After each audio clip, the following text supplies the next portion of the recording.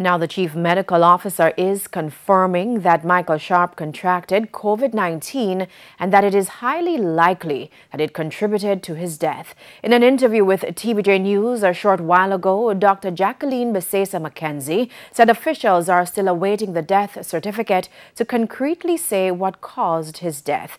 Giovanni Dennis has been tracking this story and now joins us live. Gio? Well, Janella, just to say that the CMO spoke only because the family gave our newsroom permission to make inquiries into what really is a personal health matter.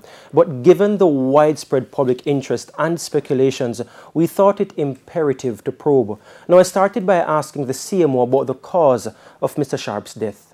Michael received the vaccine on the 14th of March, and he reported no complaints at the time, but he, he was noted to have chronic illnesses um, our our reports are that he developed symptoms shortly after, which worsened. Um, he was tested and he was found to be COVID positive. And he was admitted to hospital and he was in hospital for over three weeks and he died on April the 20th. So um, we know that he was COVID positive. Um, I have not seen the, the the death certificate. So I don't know what is written on it. And I really would wait on that to say specifically what is the cause of death. But we do know that he was COVID positive, that he did have illnesses um, that would have rendered him to have a more severe um, illness with COVID.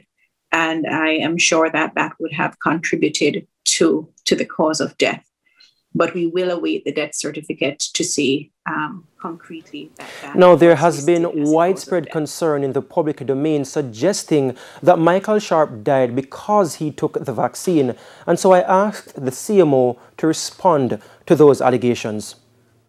Persons can die from COVID if they are exposed to COVID, the SARS coronavirus, before or after taking the vaccine, especially in, the, in that vulnerable period when there's no immunity conferred as yet. Or they can die from other natural causes as a result that they have, uh, uh, as a result of illnesses that they have already. So it is not unusual, or we shouldn't expect that there would be no reports of deaths coming after somebody have taken the vaccine. But importantly, the vaccine is not the cause of death. Now, for the AstraZeneca vaccine, the AstraZeneca vaccine is two doses, and full or more robust immunity and longer lasting immunity would be conferred approximately two weeks after receiving the second dose. Now, it's important to note that the CMO said there was no record of Mr. Sharpe having any adverse reaction to the vaccine.